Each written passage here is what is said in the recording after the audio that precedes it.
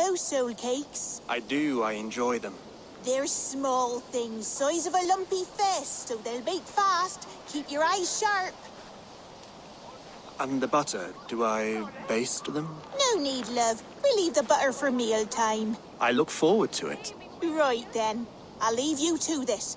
If you need me, I'll be doing the washing up next door. Quite a step down from your former work, Lord. As their guest, I volunteer to help with the daily chores. They offer me a bed. I tend the cakes. Do they not feel strange giving orders to their king? Or do they know? That knowledge would benefit no one. I read your message. You went through a great deal of trouble to obscure yourself as this poor soldier of Christ.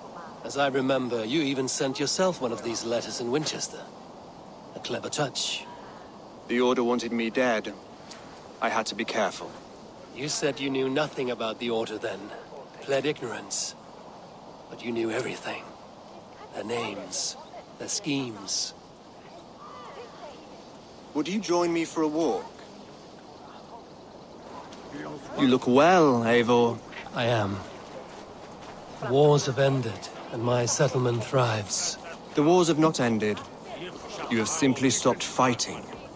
But men are brewing plots in mead halls and bedrooms. You will see. And how are you, Alfred? Getting used to the idea of being unremarkable? I am well. Better than I expected. In this exile, I have found a somewhat uh, nourishing peace. Each morning, I am awakened by the sun and growling cormorants.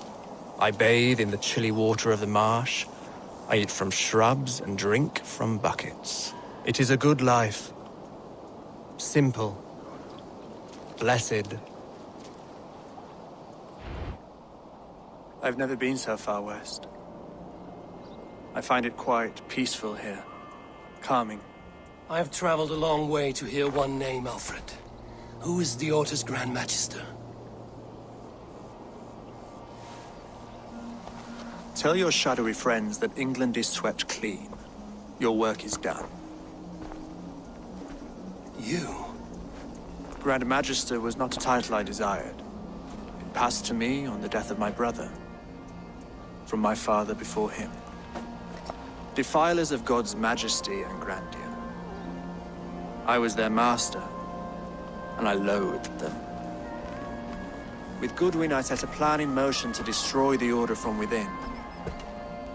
But my troubles with the Danes delayed that plan. But your trouble with this Dane is what led to their demise.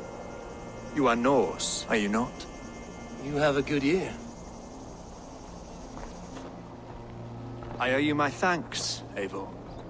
For that, I give you this. The key to my study. That you may better understand the good you have done.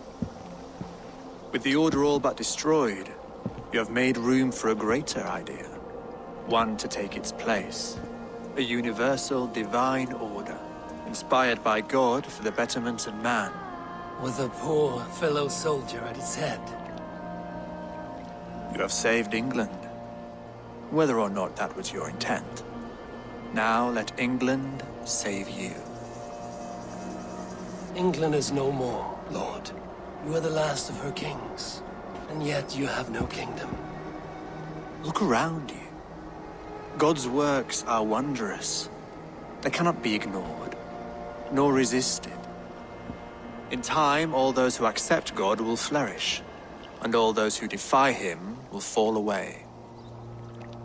Should you remain in England, you too will one day be her subject. Oh, bloody crumbs! The cakes are burned. Where is that man? Young man, where have you gone? Damn. That may have earned me a night of washing linens.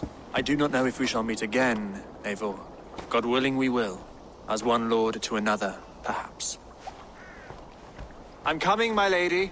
I'm here.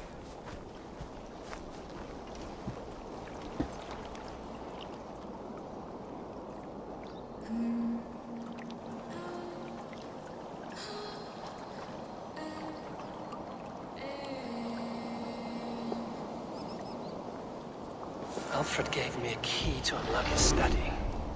Somewhere in Winchester. Oh dear, oh dear, look at them little balls of soot! Good lady, forgive me, I was lost in thought. No matter, just let him cool and we'll begin again. Direct me and I will obey.